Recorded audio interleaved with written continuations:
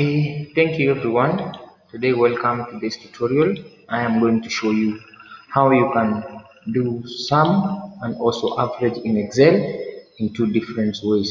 So let us jump in and let us start. So let's say for example you want to do total sum of all these uh, columns. So all you need just to do you need to click, equal sign and then you click the function which is sum open bracket click the cell which you want to do total sum full colon and then you click also up to where you want the total to be. Like that and it will highlight and then you click uh, close bracket press enter. Then we all you need you don't need to do for the others you just need autofill you click here and then you autofill like this. It will automatically autofill for the rest. Average same you click equal you click the uh, the sign or you click the sign that you want to do which is average average open bracket. I want to do average of biology and up to computer. So all i need to do is what i just need also to click the colon and then i come here and click computer. Closing bracket click enter. That is the average for this cell and then I click autofill.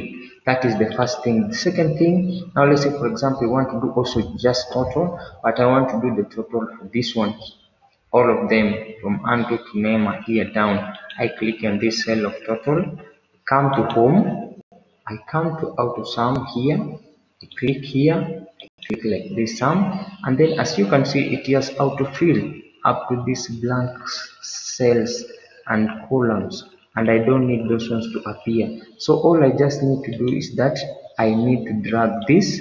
Uh, I need to click here and then I autofill up to here and then I press enter. It will autofill some for those and I can autofill this. Same thing average. Click here to average. Come to home. Come to auto sum. Click here. Click average. You can see I press my cursor here and then it will automatically average for that cell. I press enter. All i just need to do i need now to autofill like this. That is the sum and that is the average that you can do uh, two different ways in excel.